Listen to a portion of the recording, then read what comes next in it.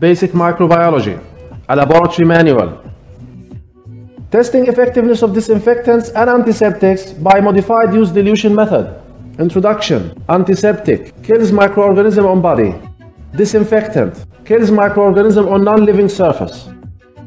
List of disinfectants and antiseptics. Disinfectant, phenolics 5%, chlorhexidine, mercury compounds, sodium hypochlorite, formaldehyde, and ethylene oxide. Antiseptics, phenolics 1%, chlorhexidine, hydrogen peroxide, dyes, crystal violet, ethanol and propanol, silver nitrate, and iodine compounds. Methods Disk diffusion method, modified use dilution method. Test effectiveness of disinfectant against a particular organism. Test effectiveness of a disinfectant on a surface. Modified use dilution method. Purpose Assess effectiveness of disinfectants and antiseptics against selected organisms on non-living surface.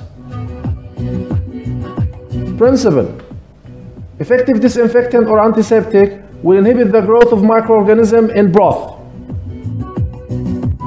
Prepare bacterial suspension by adding one 10 microliter loop full of bacteria into 10 ml of broth.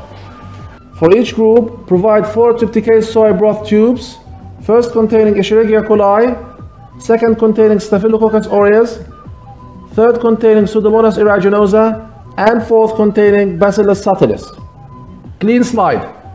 Pre-clean slide to remove grease. Dip in absolute ethanol for several minutes. Dry or flame before use. Smear preparation. Prepare 5 smears from broth containing Escherichia coli. Air dry. Prepare in the same way for Staphylococcus aureus, Pseudomonas aeruginosa, and Bacillus subtilis. For each group, provide 4 25 ml beakers with 10 ml of tested disinfectants or antiseptics.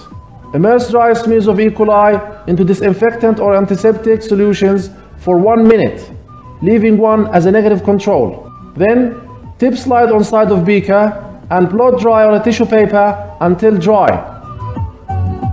Repeat in the same manner for the other three organisms. Prepare 25 50 ml Falcon tubes. Aseptically add 20 ml of TSB. Put 25 tubes into 5 sets. Label tubes showing disinfectant or antiseptic treatment and organism tested, as shown.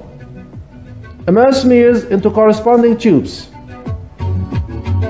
Close tubes loosely and incubate for 24 hours at 37 degrees centigrade. Observe results. Growth, gram stain, subculture. Observe cloudy growth in broth. Gram stain from positive culture tubes. Subculture to retrieve test organism. If retrieved organism is different from test organism, report contamination. Use this form to report results.